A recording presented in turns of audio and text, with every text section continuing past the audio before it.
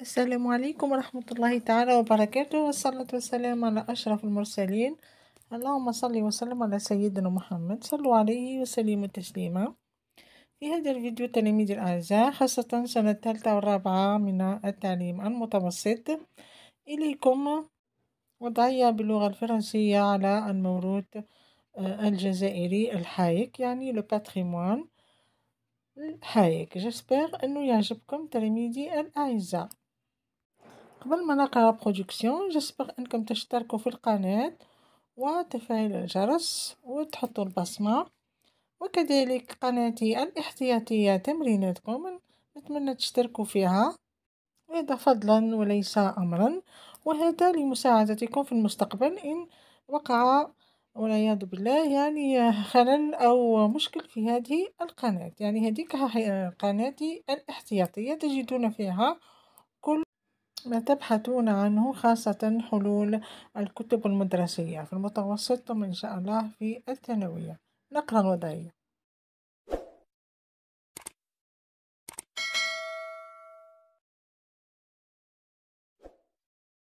أولا الإنترودكسيون مع الترجمة تاعها. الحايك ou bien le voile est un vêtement traditionnel par excellence porté par la femme algérienne qui tend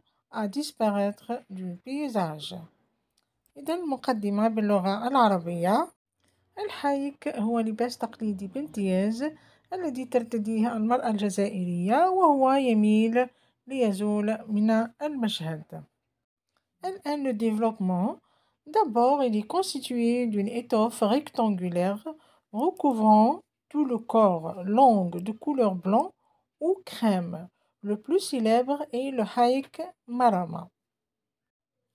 Ensuite, le haïk est l'héritage de longue présence ottomane établie en Algérie.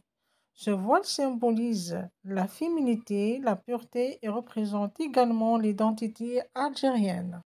إليكم الآن ترجمة باللغة العربية العرض أولا إنه مصنوع من قماش مستطيل الشكل يغطي الجسم كله طويل أبيض اللون أو كريم وأشهرها هو حايك مرمى إذا الحايك هو إرث لوجود الطويل للدولة العثمانية في الجزائر وهذا الحجاب يرمز إلى الأنوثة والنقاء ويمثل أيضا الهوية الجزائرية Enfin, le haïk fait partie de notre histoire et patrimoine ancestral. Ce type de voile est souvent associé à la beauté féminine et a inspiré de nombreux ou bien nombre de, de poètes et de chanteurs. Pardon.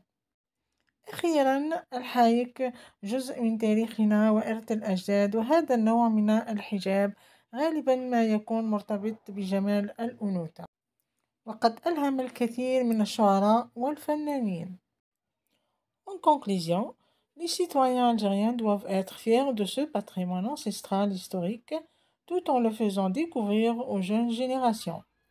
إذا في الخاتمة نقول يجب أن يفخر المواطنون الجزائريون بتراث الأجداد التاريخي لإحيائه عند الشباب أو عند الشباب.